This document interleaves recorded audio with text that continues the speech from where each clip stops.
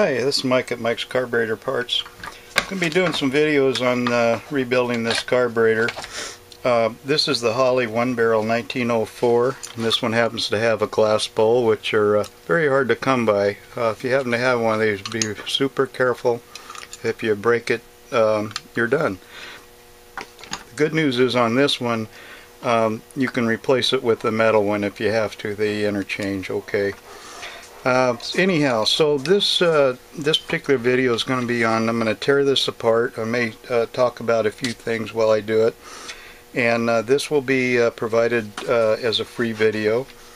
The complete rebuilding of this is going to be done on a DVD, and that will be available on my website. as you can see, this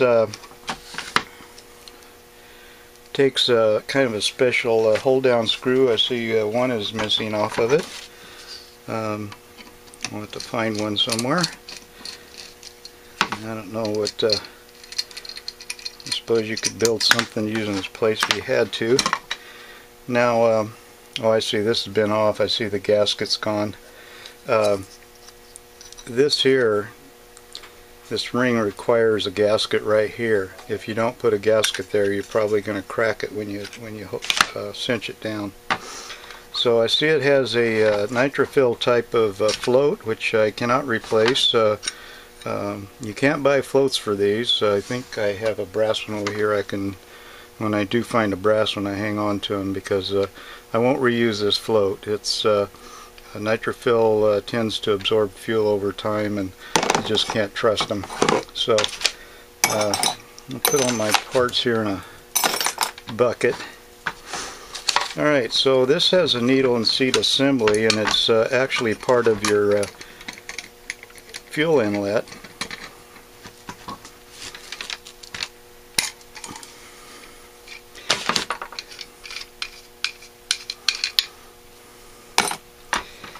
And there's a screw in there that uh,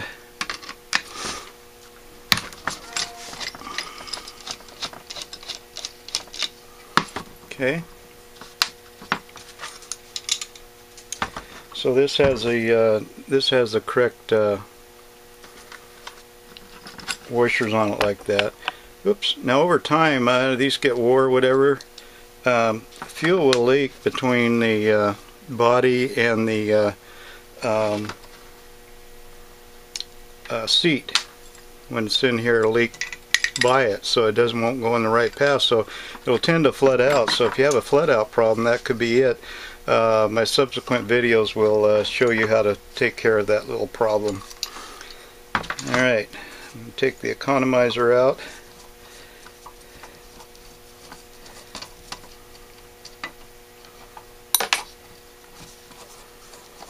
seems to be a nice clean little carburetor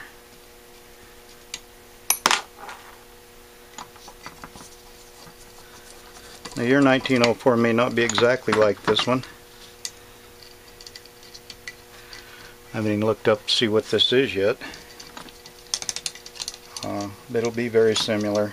Uh, the difference on some of them, uh, the actuator, this one's a metal, and uh, a lot of them will have the uh, plastic one, and the, uh, the choke will be look a little different than this one.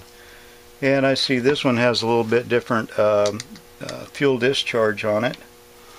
I haven't seen one of these for a long time. Uh, there's a little pin that holds that in we'll have to take off. Okay, so uh, this comes in the,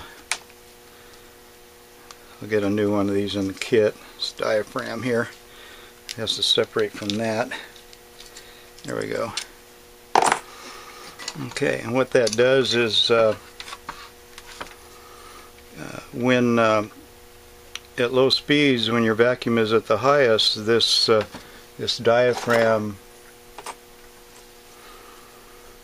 gets sucked up like that, and no pressure on here. Well, and then when you uh, uh, um, speed up and you lose vacuum, this will expand and push this little needle down and allow more fuel to flow into your uh, uh, Venturi um, and that's for uh, your higher speeds.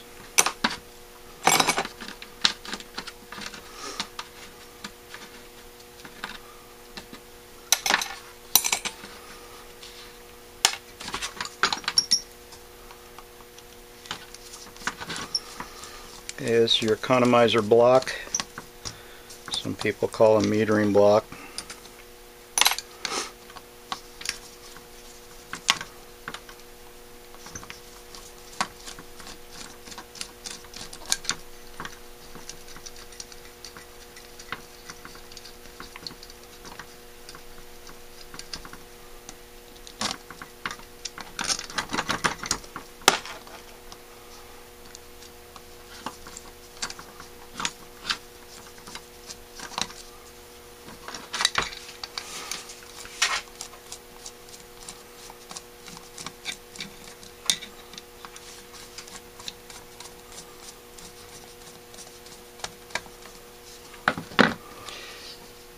There's your main uh, jet. We do carry these jets. Yeah, let's see. I don't know if I see a number on that one or not. Yeah, it's a uh,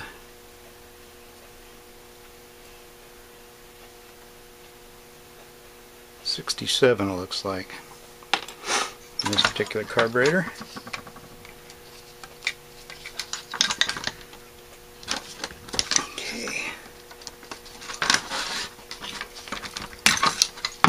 Pry those loose. I'll try and point out anything's not in here right if if the, if it isn't. Okay. Don't want to lose these little screws. Okay, there's a little spring that holds back. And uh, then we have our uh, diaphragm. By the way, I want to point something out here. Um, this is the uh, where the diaphragm comes out. Um, if you have any much of a gap in here at all, uh, your uh, throttle valve is going to be open like that. It's going to be uh, loose, and uh, you want it you want it tight. Otherwise, you're going to put a spring on your uh, throttle to hold it open. But if you have much of a gap here, you may have the wrong uh, accelerator pump in there. Now, as long as you have the carburetor number and you get the correct kit, you should have the correct accelerator pump.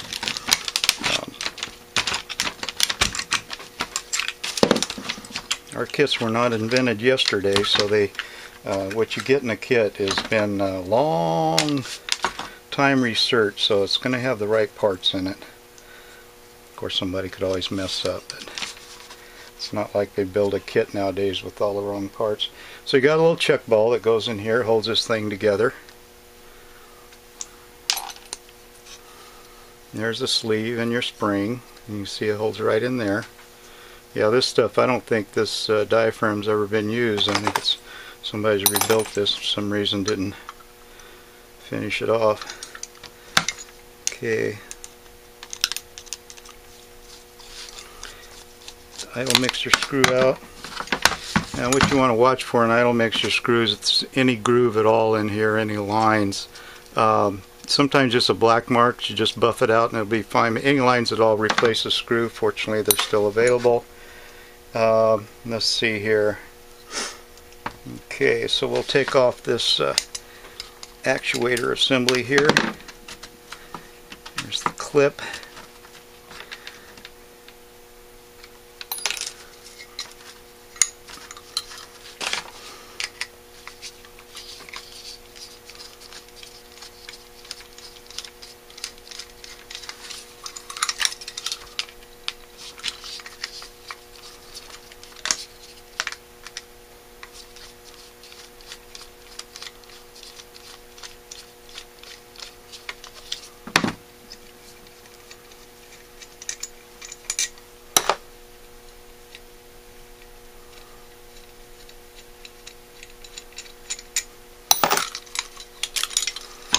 Okay, so that's the throttle body.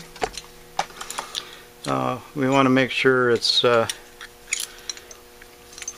not too loose, and that means uh, um, the up and down, because this way's, you know, fine, you want that loose, but up and down, if you get too much slack, you're going to have a little, it can't be completely tight. Uh, but if you're getting like a, a I'd say three 130 seconds or more, you're gonna you're gonna leak right here. It's gonna leak vacuum and you're going to have to put bushings in it. Okay, so there's that assembly. Okay, now, so uh, now these uh, will I will sometimes take these apart when I need to shim them and uh, see how it moves back and forth and what, what I do sometimes I'll stick a little washer right here um, it depends on how it lines up but it seems they'll catch sometimes but this one seems okay so uh, would probably be okay there. Alright so that's that assembly there.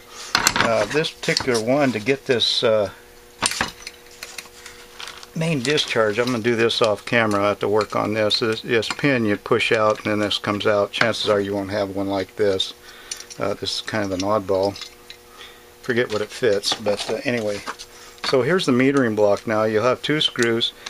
Um, yours may have uh, brass caps or aluminum cap whatever uh, to hold these in. And what you need to do is carefully drill them out. These this does need to be cleaned now you see how this had the check weight in it? And uh, and the ball. And uh, you'll have two different size balls for this. The bigger ball goes out here you know they got the same ball I think the I think they may have been wrong on that one oh hmm. Anyway, you do need to take these apart. This one's a little strange uh, compared to most of them I've done. Uh, take this apart to get this clean in here. And uh, you see even that, that's whoever did this last did not take it apart. Anyhow, so uh, yeah, I question these check balls. They're generally one's bigger than the other, so uh, we'll see when we get the kit out for this one. Okay, so this one you don't necessarily have to take out. Just make sure it's real clean in there. It doesn't have a check ball. It has to seal, so we're okay there. And uh, these, if they're bent, straighten them out. Um, I have seen uh, stuff on the internet about trying to fix these. It's uh, quite an involved process. I don't mess with them too much as long as they're working. And uh, that's a disassembly of it. And uh, like I say, I'll be uh, uh, cleaning it and assembling. One other thing I'll be doing in, on, our, on my DVD um, series is straightening this bowl out. They they're almost always warped from people over tightening them. Um, so there is a way to straighten them. It's uh, it's not easy. I don't know if you can see on the video. You can see this one's warped. Uh, so I will uh, um, try and straighten this out somewhat. Okay. All right. Thank you for watching.